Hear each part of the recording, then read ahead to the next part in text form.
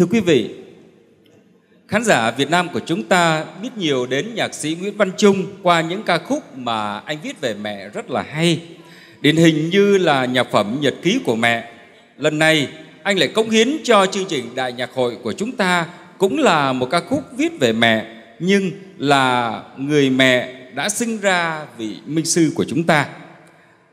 Cảm xúc từ các khúc này bằng nghệ thuật tranh cát động à, họa sĩ Thế Nhân đã hoàn thành một tác phẩm tranh cát thật ấn tượng. Và sau đây, ca sĩ Đào Mác sẽ gửi tới Minh Sư Ruma và quý vị một ca khúc do nhạc sĩ Nguyễn Văn Trung phổ nhạc từ bài thơ của Minh Sư Ruma gửi tặng cho thân mẫu của Ngài. Nhạc phẩm mang tựa đề Dâng mẹ quả vị thiêng liêng và cùng thưởng thức tác phẩm tranh cát của họa sĩ Thế Nhân trên màn hình. Xin mời quý vị cùng thưởng thức.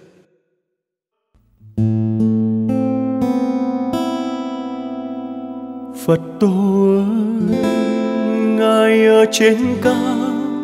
Xin chỉ dùng con đường sang xứ ơn, Để con sớm tròn nguyện ước mơ, Chữ hiếu dâng người Qua vị thiêng liêng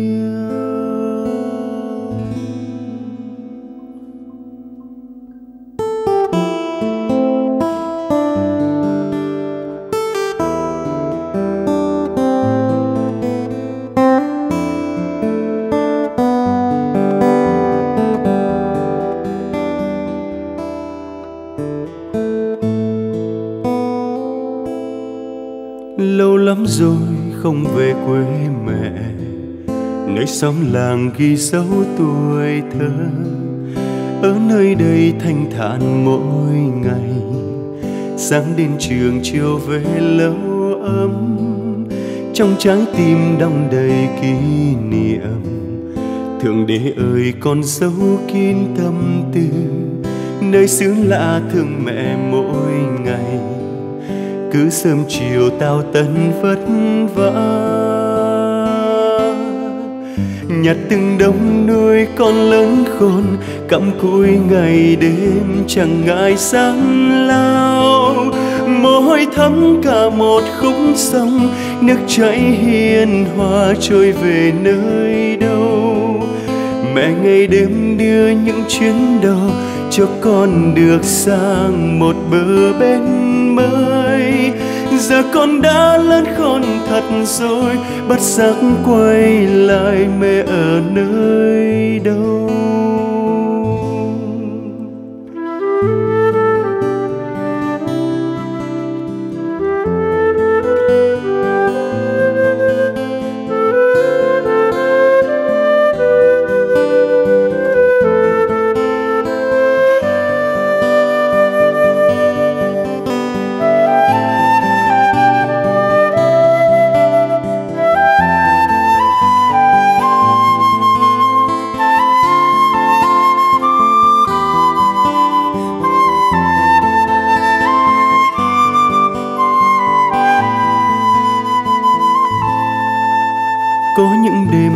Mơ thấy mình được trở về dưới mái nhà xưa, được âu yếm trong vòng tay mẹ. Tiếng ru hời âu âu tình giấc khi chưa kịp ra từ, nước mắt rơi dẫu biết là mơ. Nắng đã phai còn vẫn thẫn thờ ơn sinh thành ngày nào đến đã chỉ đừng tu mới trọn hiếu thân, công lao biển trời của mẹ chất ngất. Nhờ nương ánh đào vàng để con giải thoát mẹ hiền bên đời phong ba. Phật tôi ngài ở trên cao, xin chỉ dùng con đường sang xứ ơi con sớm trọn nguyện ước mơ chưa hiếu rằng người quả vị thiêng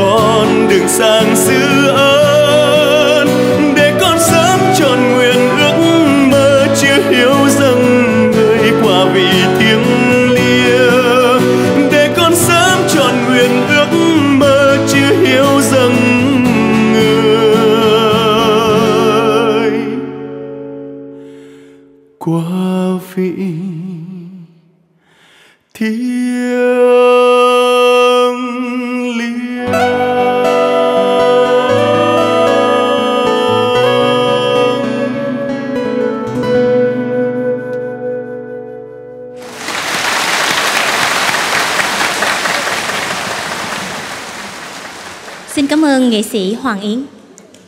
Tất cả mọi người ở đây đều lặng đi vì ca khúc mà Đào Mát vừa thể hiện. Những tác phẩm bạn đã hát trong những đại nhạc hội tâm linh của Minh Sư Ruma luôn gây ấn tượng cho quý vị thiền sinh. Nhưng ờ, từ trước tới giờ thì mọi người chỉ mới được nghe Đào Mát hát thôi. Trong lần xuất hiện này, Đào Mát vừa hát vừa đàn. Vậy ờ, Ngọc Đầy xin nhường lời lại cho bạn Ờ, con xin chào Minh Sư, xin chào các sư huynh và các quý vị thiền sinh. Nếu nói về cảm xúc thì chắc là Đào Mác không thể nói hết được bằng lời được. Đào Mác là một trong những ca sĩ rất may mắn bởi vì hầu như các đại nhạc hội tâm linh của Minh Sư Ruma, Đào Mác đều vinh dự được ờ, được tham gia. Và mỗi một lần tham gia đại nhạc hội thì Đào Mác lại cảm thấy trong mình có nhiều biến cố và cảm giác ờ, mình lớn hơn và trưởng thành hơn, nhưng ờ, lại càng cảm thấy mình nhỏ bé hơn trong vòng tay của Minh Sư Ruma. Và ngày hôm nay khi đứng đây cùng với cây đàn này, thì Đào Mác xin kể cho quý vị nghe một câu chuyện. Thưa quý vị, đây chính là cây đàn ờ, guitar mà Minh Sư Ruma đã tặng cho Đào Mác.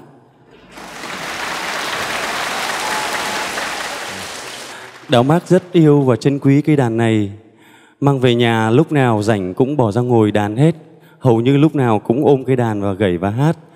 Nhưng có một lần khi mà Đào Mác ờ, cũng treo cây đàn ở trên một chỗ rất trang trọng trong ngôi nhà của mình thì có một lần ờ, anh trai của Đào Mác có thu dọn đồ đạc và anh trai Đào Mác có làm rơi chiếc đàn này xuống và nó bị nứt mất một phần ở phía dưới. Đào Mác không đi về, khóc hết cả một ngày bởi vì đây là một cây đàn mà Minh Sư Ruma đã rất yêu quý mình, mà tặng cho mình, mà mình lại cảm thấy mình có lỗi tại sao mình không gìn giữ cây đàn này tốt đến như thế. Sau đó thì Đào Mác có mang ra tiệm để ờ, họ sửa lại thì cây đàn này cũng ờ, không được hoàn toàn 100% nhưng cũng được khoảng 95%. Nhưng mà chữ ký của Minh Sư Ruma trên cây đàn đã không còn nữa. Đào Mác rất rất buồn và rất cảm thấy mình có lỗi trong trong bản thân mình. Và từ đó thì Đào Mác luôn đau đáu một, luôn đau đáu một niềm là mình đã được Minh Sư Ruma tặng cây đàn rồi mà chưa bao giờ có dịp để hát cho Minh Sư Ruma cùng quý vị thiền sinh nghe bằng chính cây đàn này. Và trong nhân dịp đại nhạc hội lần này thì ờ, ban tổ chức và Đào Mác đã quyết định là sẽ thể hiện ờ, một ca khúc do nhạc sĩ Nguyễn Văn Trung sáng tác đó là Dâng Mẹ của vị thiêng liêng bằng chính cây đàn này và Đào Mác chơi cây đàn này để hát cho quý vị nghe cũng như một lời xin lỗi con tạ lỗi với Mishiruma và để uh, gửi lời ca tiếng hát của mình đến toàn thể quý vị. Ngờ ẩn sâu trong hình ảnh đào mát và chiếc đàn của mình lại có một câu chuyện cảm động đến như vậy. Xin cảm ơn ca sĩ Đào Mát.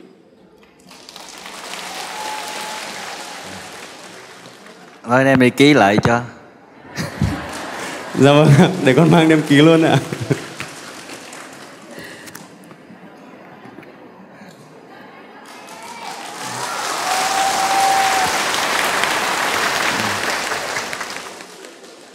Quý vị biết không?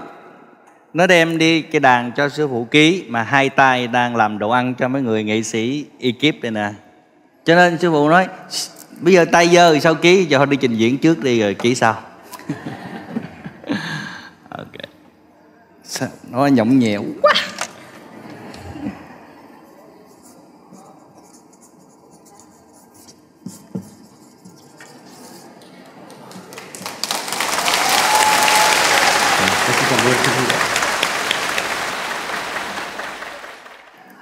tại vì đang làm đồ ăn cho mấy người nghệ sĩ uh, ekip sư phụ đang làm đồ ăn mà ông đem cái đàn lên sư phụ mấy ông thị giả cứ trình sư phụ nói hồi đem xuống đi ta làm đồ ăn hai tay toàn là dầu không mà đem hồi tôi chụm củi luôn á. Nó quản đem xuống. Vâng một dàn phổ tay cho ân điện của sư phụ dành cho đầu máy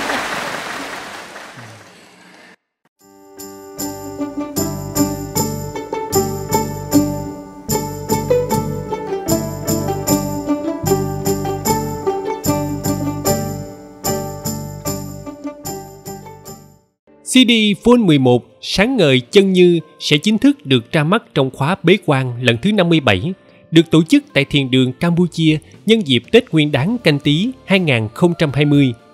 Xin mời quý vị cùng đón nhận ân điển đặc biệt từ Minh sư Truma Tôn Kính, đón nhận dòng âm lưu thượng đế cao quý từ càng khôn vũ trụ.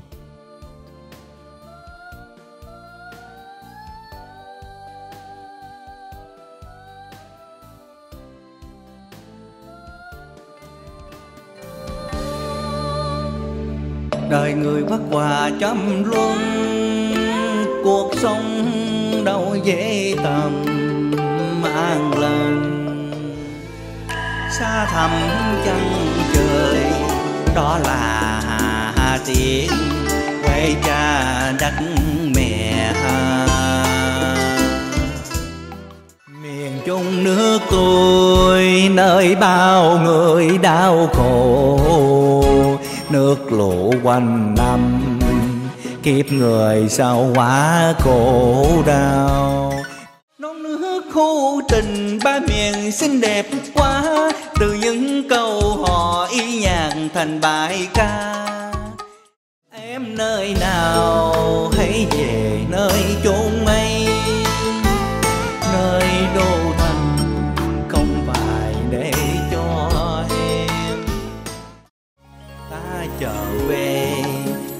Tiếng gọi mẹ ơi. Về với mẹ, về nơi thật yên bình. Hôm nay tôi về thăm lại một vùng quê.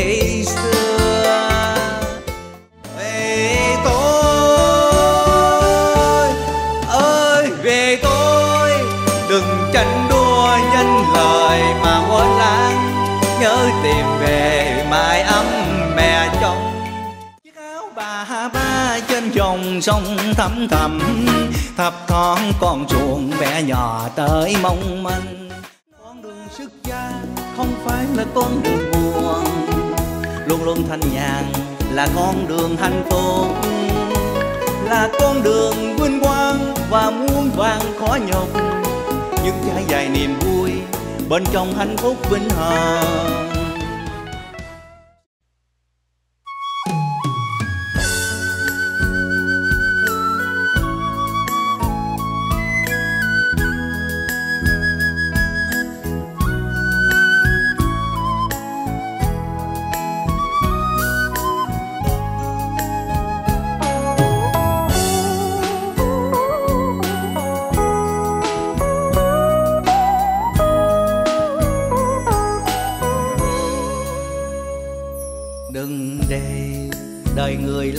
kiếp chơi đùa. Ngà chập kêu màng làm cho quay quanh. Đừng để mình ngu si đã đành. Đừng làm nô lệ cho mình cho ai. Xin đừng nhào bán chê bai. Đừng than quá cứ vì lái lăng nhau lạc thanh bình. Xin đừng chặt hẹp vô tình nhẫn tâm. Đời người ơi, ai cũng thăng trầm nên sống khai ngộ bên trong hướng về. Phật tôn thường đế ở trên kia. Tình thương giải thoát kiếp người cần có minh sư chi huệ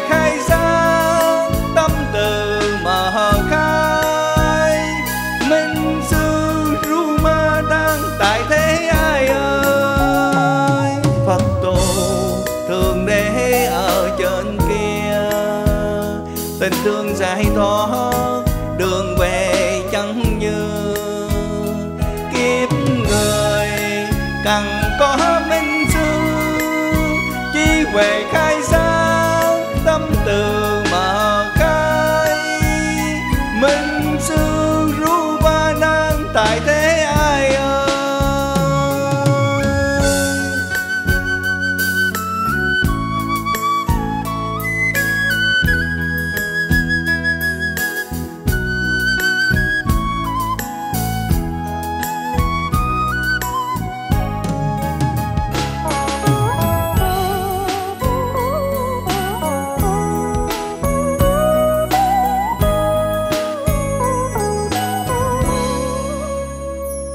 đừng để đời người là kiếp chơi đùa. Ngà chập kêu màng làm cho quay quanh. Đừng để mình ngu si đà đành. Đừng làm nô lệ cho mình cho ai. Xin đừng nhào bán chê bai. Đừng than quá khứ vì lái lăng nhang. Nên xin an lạc thanh bình xin đừng